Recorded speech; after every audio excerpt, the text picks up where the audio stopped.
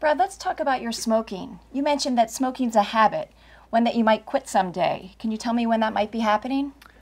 Well, it's not something I'm planning on doing anytime soon. Uh, I've only been smoking since about college. Uh, everybody knows it's not good for you, and I know it doesn't help with my asthma.